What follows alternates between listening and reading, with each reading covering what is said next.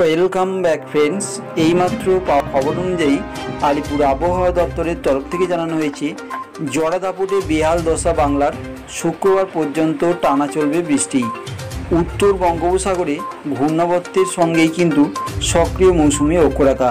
তো বন্ধুরা, বর্তমানে পশ্চিমবঙ্গের কোন কোন জেলায় ভারী বৃষ্টির পূর্বাভাস দেওয়া হয়েছে, বিস্তারিত সমস্ত তথ্য জানতে ভিডিওর নিচে থাকা লাল রঙের সাবস্ক্রাইব বাটনে প্রেস করার পর ভিডিওটিকে জনস্বার্থে প্রচুর পরিমাণে শেয়ার করবেন যাতে প্রত্যেকটি মানুষ খবরটি জানতে পারে। হাওয়া অফিস সূত্রে খবর, বুধবার দিন ভোর বৃষ্টির পর বৃহস্পতিবারও ভারী বৃষ্টির পূর্বাভাস রয়েছে।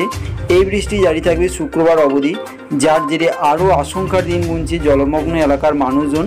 ইতিমধ্যেই নদীর জলস্তর বৃদ্ধি, বৃষ্টি জমা জল, সর্বোপরি বাঁধের জলোচ্ছ্বাসের কারণে প্লাবিত বহু এলাকা তবে বৃষ্টি না থামলে জল জমার সম্ভাবনা প্রায় নেই বলেই জানিয়েছেন বিশেষজ্ঞরা।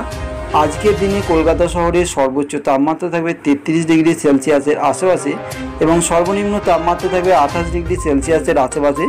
সকালের দিকে মাঝে মধ্যে বৃষ্টি ও একেবার বজ্রবিদ্যুৎ সহ ঝড় ও রাতের দিকে কয়েকবার বজ্রবিদ্যুতের সম্ভাবনা রয়েছে।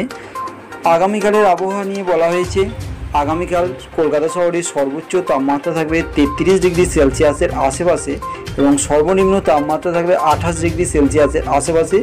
সকালের দিকে এলাকার কয়েকটি জায়গায় একবার বজ্রবিদ্যুৎ সহ ঝড় ও রাতের দিকে ভারী বৃষ্টিরও সম্ভাবনা রয়েছে।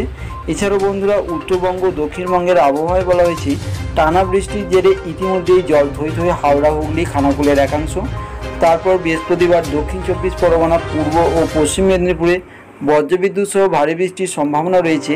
পাশাপাশি শুক্রবার সহ কলকাতা, ঝাড়গ্রাম, বাঁকুড়ায় ভারী বৃষ্টির সম্ভাবনা প্রকাশ করা হয়েছে। আলিপুর আবহাওয়া দপ্তরের তরফ থেকে।